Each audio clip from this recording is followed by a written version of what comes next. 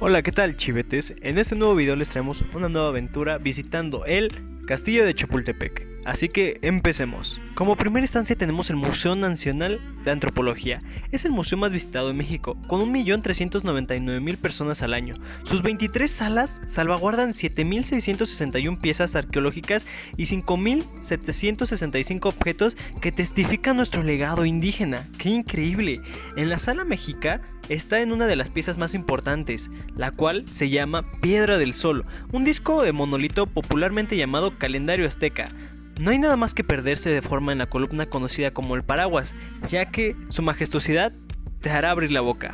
Como segundo punto tenemos el Museo Tamayo. Además de atesorar 600 obras donadas por Rufino Tamayo para la creación del museo, es una obra de arte contemporánea. Una de las exposiciones que le atrajo la mayor popularidad fue Obsesión Infinita, de Yaoi Kusama. Su oferta de actividades incluye talleres, recorridos para comprender más la arquitectura de su edificio, ciclos de cine y jazz en vivo. Su tienda y restaurante valen mucho la pena ya que en ellos puedes encontrar todo lo que está de moda y grandes ofertas en lo que es la comida.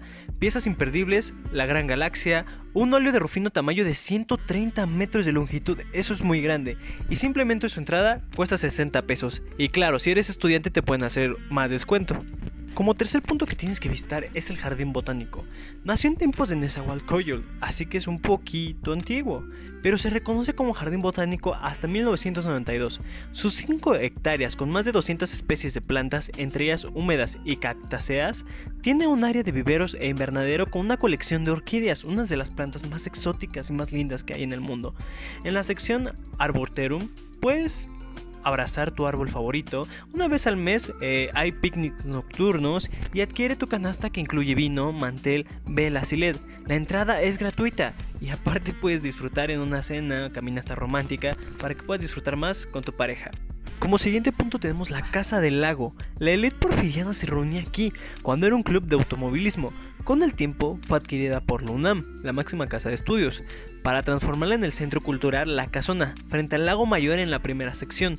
Publica al mes una cartelera de exposiciones, conciertos y talleres, además tres veces al día se puede recorrer su espacio sonoro, el cual consiste en caminar por un jardín musicalizado para apreciar la relación hombre-naturaleza. La mayoría de sus actividades son gratuitas, así que ¿qué esperas y ve a visitarlo? Como siguiente punto tenemos el castillo de Chapultepec. Si las paredes de esta fortaleza hablaran, nos contarían detalles de la vida pomposa de Carlota y Maximiliano de Habsburgo, la lucha de los niños héroes y la estancia de Lázaro Cárdenas, que, quien fue el que lo decretó como Museo Nacional de Historia. Una visita debe incluir los murales de David Alfaro Siqueiros, uno de los importantes muralistas de México, los vitrales parisinos que representaban a las cinco diosas griegas y el alcanzar eh, con los muebles, documentos, ropas utilizados por el emperador de Habsburgo. La entrada cuesta solamente 70 pesos. Como siguiente parada tenemos el Museo de Historia Natural. Sus 10 salas semicirculares están ordenadas de acuerdo a la teoría de evolución.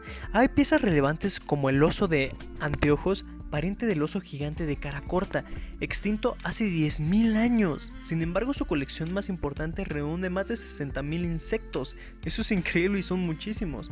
No está, no está en exhibición, pero los visitantes pueden conocerla bajo reservación. La entrada cuesta solamente 26 pesos, con el mismo boleto se puede visitar el Cárcamo de Dolores.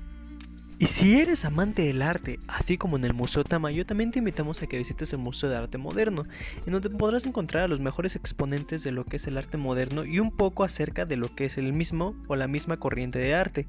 Así que, ¿qué esperas? Ve y conócelo. Y para terminar, te invitamos a que conozcas todo esto en compañía de amigos o en pareja, ya que será más divertido. Las caminatas y con el fulgor del sol te harán sentir más en tranquilidad. Conoce, ve los puestecitos, y vive al 100, recuerda. Tenemos que preservar nuestro planeta, así que cuídalo y siempre trata de protegerlo. Ya nos vemos y que tengas un buen día.